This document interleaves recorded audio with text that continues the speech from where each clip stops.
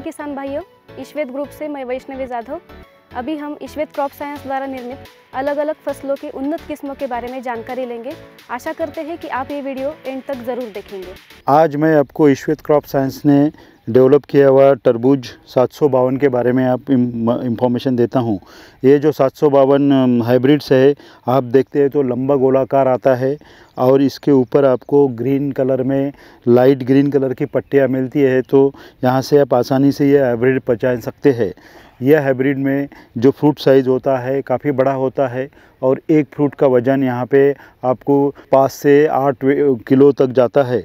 अंदर से फ्रूट को काटते हैं तो काफ़ी डीप रेड में फ्रूट निकलता है और इसको जो आपका टी एस एस है, इसका जो स्वीटनेस है, काफ़ी स्वीट आता है।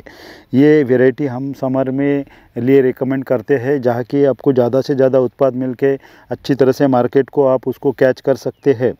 ये पूरा क्रॉप 100 सौ, से 100 दिन में आप कंप्लीट करके उसमें ज़्यादा से ज़्यादा मुनाफा ले सकते हैं। ये वेराइटी में आपको डिसीज़ और पेस्ट अब देखते हैं तो कम, बहुत कम मात्रा में आती है। और ये लॉन्ग ड्यूरेशन के लिए भी काफ़ी अच्छी वेराइटी आती है। और इसमें आपको ज़्यादा से ज़्यादा उत्पाद लेके मुनाफा ले सकते हैं। मैं किसान भाइयों को अपील करता हूँ कि एक बार आपके फार्म पे ये वैरायटी लगा के उसका एक अवश्य फ़ायदा लीजिए।